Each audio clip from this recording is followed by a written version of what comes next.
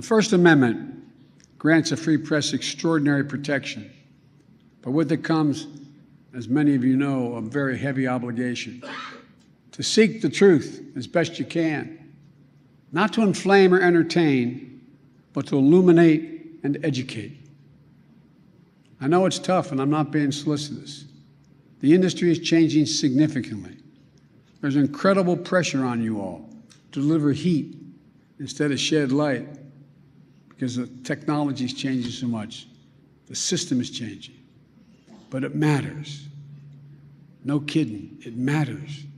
The truth matters. American democracy is not a reality show.